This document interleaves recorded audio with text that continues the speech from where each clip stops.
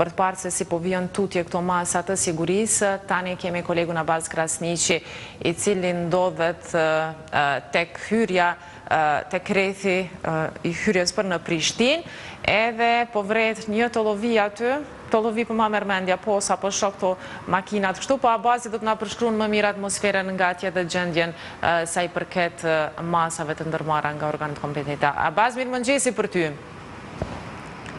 Mirëmëngjesi Mërvet, mirëmëngjesi për të gjithë shikuesit të cilët janë duke qëndruar në shtëpitë e tyre dhe duke respektuar rekomandimet e Ministrisë Shëndetësisë për me ndejt n'shpi.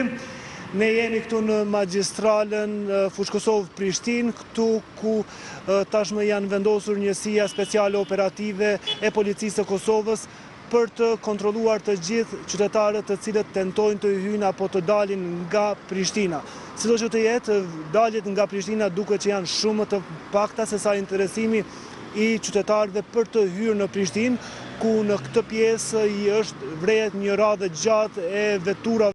E lus Saidin që të kthehet pak prapa në pjesën e cila pasqyron hyrjen prej Fushë-Kosovës në Prishtinë, ku kolona është tepër e gjatë pothuajse deri brenda qytetit të Fushë-Kosovës. Të drejtë hyrje në Prishtinë kanë vetëm njerëzit të cilët kanë leje të veçanta nga institucionet përkatëse. dhe Policia e Kosovës është duke i kontrolluar të gjitha veturat të cilat po përpiqen që të hyjnë në kryeqytet në këtë periudhë kur Prishtina tashmë është në karantinë.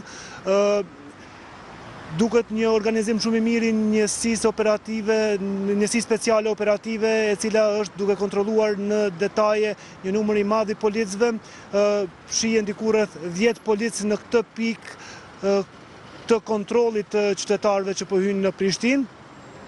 Gjithsesi, qytetarët shihet që janë duke ardhur një fluks shumë i madh këtu, vërejmë edhe qytetarë që janë dy apo më shumë persona në veturat e tyre, sido që të jetë, këto masa ndoshta për numrin e pasagjerëve në veturë do të hyjnë në fuqi nga nesër, përderisa sot po shpresojmë që në kryeqytet të mos vijnë askush tjetër përveç qytetarëve të cilët punojnë këtu apo edhe kanë leje të veçanta për të hyrë në Prishtinë.